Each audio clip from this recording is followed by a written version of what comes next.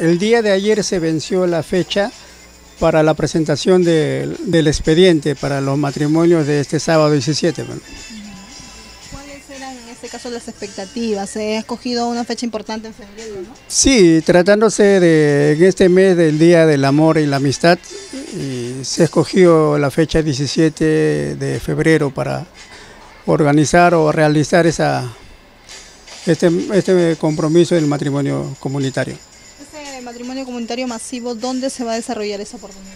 Eh, como el año pasado también se hizo, fue en el curso del, de Guaral, del Estadio Guaral.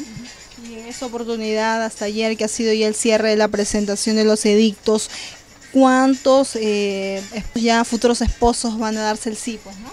Sí, mira, eh, hemos pasado la expectativa porque ten- teníamos una expectativa de 25 parejas y en la actualidad se ha pasado, estamos llegando allá a 35 parejas. Ujú. 35 parejas.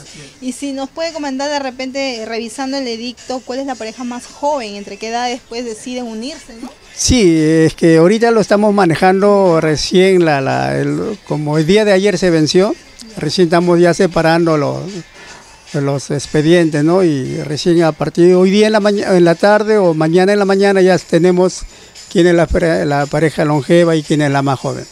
Ahora, en este caso, ¿cuáles fueron los requisitos que una pareja, pues, y cuando ya quiere unir sus vidas, fue lo que tenía que presentar para el sábado desarrollarse ese matrimonio masivo?